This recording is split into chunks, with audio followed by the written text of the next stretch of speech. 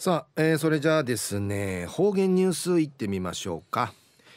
えー、今日の担当は植地和夫さんです。はい。こんにちは。はいこんにちは。はいお願いします、はい最後数よ。動画中かなてわちみせみ。昼夜11月の8日旧暦うち7くめ昼夜。10月の24日にあざといびん中琉球新報の記事の中からうちなありくるニュースうちてさびら中のニュースを八重山石垣市白穂竿根田原洞穴遺跡を国史跡園児のニュースやびん。ゆずなびら。国の文化審議会やこのほど今度国の史跡都市石垣市の白白穂白穂竿根田原洞穴遺跡白穂竿根タバル洞窟遺跡シラフソンタバリジあの家間口でいることをびしがこのシラフサオネタバル洞窟遺跡を新たに指定するよう三国国の遺跡都市定め的未総林地荻生田文部科学大臣に答申しました。文部大臣会軍上サビタン。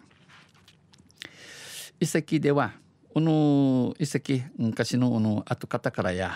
国内最古となる日本店もっとん古さるもっとん昔、やるおよそいくる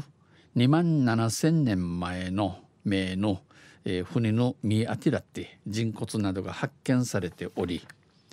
学術的な価値の高さが評価されました。学問するために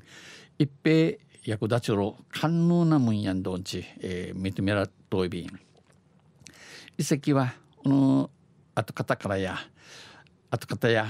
石垣空港のうちにあって、えー、空港の中んかいあって、えー、満開空港会うのままうちへ便現地保存されており、えー、うぬがまからあここからはうぬがまからや保存状態の良好な多量の人骨が発見されました。うの遺跡からや、えー、保存状態の良好を保ちぬゆたさるふに口がフォークジアビタン旧石器時代に相当する旧石器時代に与える高新生人類高新生人類、えー、高新生でいいね、えー、生から170万年目から1万年目までの言うのことやるぐといびしがこの高新生人類の人骨を伴う母層と母域の発見は国内初の事例。これ食い引き中ね若いビラン野菜、えー、母層墓のことやびん、えー、この高生人類高生人類がはかんちくてはかんかいふにホームるホームいることとホームることとうぬはかまたちくたんでしん、えー、はかんみちきたしん日本うてや初めてのことやって、えー、石灰岩洞穴や岩陰を利用した曹操風俗集の長い歴史をたどることが可能、えー、岩の釜岩の釜とかまたあの岩シーのしちゃんかい葬る風俗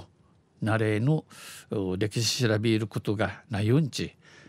文化審議会や形質人類学的な重要知見をもたらした画期的な意義を持つ、えー、形質人類学にいせの中高若いびらんしが人類学便調調べるために一平官能なもんなって伊達の値、打ちの案と評価しました認めとびん。答申を受けこの軍上サビ担当でいること父見総チャル県のへしき教育長や大変嬉しく思う一平能がなくと白穂沢根たばる洞穴遺跡や我が国の正しい歴史理解のために書くことができず日本の歴史知るために勝ちるわけにいかん。この昔の後方のまぎさ売りからちくいジタロンかしのしなじな学問するために低七なもん。遺跡の規模以降出土遺物などで学術上価値があるとコメントしました。お話さびたん。